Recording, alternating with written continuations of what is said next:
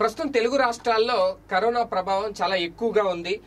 రోజు రోజుకి పెరుగుతుందే తప్ప తరుగుదల కనిపించట్లేదు. వాస్తవానికి ఆంధ్రప్రదేశ్లో మొదటి తొలి కరోనా పాజిటివ్ కేసు ఎక్కడ నమోదైంది అంటే నెల్లూరు జిల్లాలో. నెల్లూరు జిల్లాలోనే తొలి కరోనా పాజిటివ్ కేసు నమోదైంది.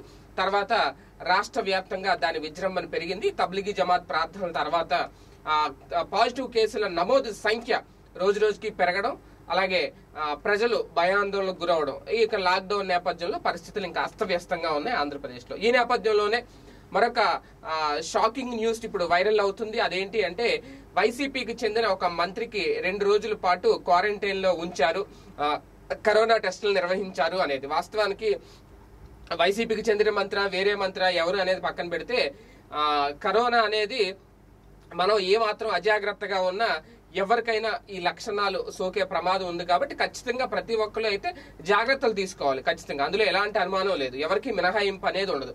ప్రతి మనిషి జాగ్రత్త తీసుకోవాల్సిందే. అయితే ఇక్కడ ఈ ప్రచారం వెనక వాస్తవం ఏంటి అంటే వాస్తవానికి రకరకాల ప్రచారాలు జరుగుతున్నాయి. పాజిటివ్ కేసులు ఒక మంత్రికి కరోనా టెస్టులు చేశారు అది.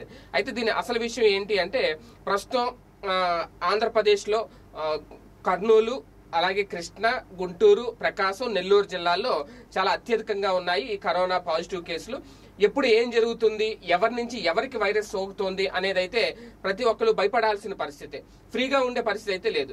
ఇలాంటి టైంలో ఆంధ్రప్రదేశ్ ప్రధానంగా నెల్లూరు జిల్లా చెందిన మంత్రి అనిల్ కుమార్ యాదవ్ గత రెండు రోజులుగా హోమ్ క్వారంటైన్లో ఉన్నారు అనేది ఒక ప్రచారం. దీంతో ఆయనకి ఏం జరిగిందో ఏమో అని చెప్పి ఆయన అభిమానులు అలాగే వైఎస్ఆర్సీపీ ఫ్యాన్స్ వీళ్ళందరూ కూడా ఆందోళన చెందిన నేపథ్యంలో తాజాగా అనిల్ కుమార్ గారికి కరోనా టెస్టులు చేశారు చేసిన నెగిటివ్ వచ్చింది అని డాక్టర్లు వైద్యులు చెప్పడంతో ఆయన ఆయనే కాదు మొత్తం అమ్మాయిలందరూ కూడా ఊపిరి పీల్చుకున్నారు అనేది ప్రధానంగా జరుగుతున్న ప్రచారం. అంటే రెండు రోజులు హోమ్ క్వారంటైన్లో ఉన్నారు. చిన్న అనుమానం వచ్చినప్పుడు హోమ్ క్వారంటైన్లో ఉండడం అనేది సహజం. ప్లస్ టెస్టులు చేసిన వెంటనే నెగిటివ్ రావడం ఊపిరి పీల్చుకునే అంశమే. అయితే ఎందుకు టెస్టులు చేయాల్సి వచ్చింది అంటే గతంలో ఆయన ఒక డాక్టర్తో కలిసి తిరిగిన నేపథ్యంలో ఆ డాక్టర్కి కరోనా పాజిటివ్ వచ్చింది కాబట్టి ఈయన్ని హోమ్ క్వారంటైన్లో పెట్టారు. తర్వాత ఈయనకి కూడా టెస్టులు చేసిన తర్వాత నెగిటివ్ వచ్చింది. ఎందుకంటే ఎవరిలో ఏ ఏ పాజిటివ్ లక్షణాలు ఉన్నాయో ఎవరికి తెలియదు కాబట్టి డాక్టరే కదా ఆయన కలిసి తిరగడం. ఆయనకి డాక్టర్కి పాజిటివ్ లక్షణాలు కనిపించడంతో ఈయన కూడా క్వారంటైన్లో ఉంచి ఈయనకి కూడా టెస్టులు చేస్తే అది నెగిటివ్ వచ్చింది అనేది ప్రధానంగా బయటపడిన ఒక ఇది.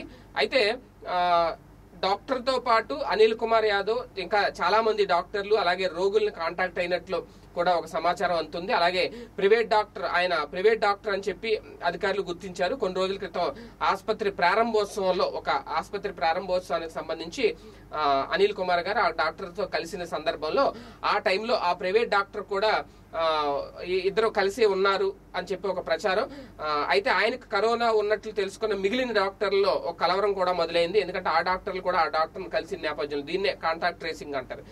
మొత్తం ఆ, అయితే డాక్టర్ కాబట్టి ప్రత్యేకంగా మనం చెప్పాల్సిన అవసరం లేదు కాబట్టి వాళ్ళే ఎవరికి వాళ్ళు స్వచ్ఛందంగా క్వారంటైన్కి వెళ్తున్నారు ఎవరికి వాళ్ళు స్వచ్ఛందంగా టెస్టులు చేయించుకుంటున్నారు. ఎవరు దాకోవట్లేదు ఏం లేదు.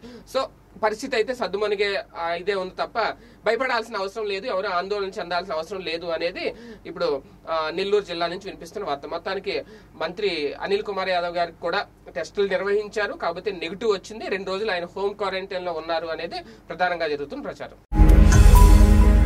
ఈ వీడియో గనుక మీకు నచ్చినట్లయితే లైక్ చేయండి షేర్ చేయండి. మరిన్ని వీడియోస్ కోసం మా ఛానల్ను సబ్స్క్రైబ్ చేయండి.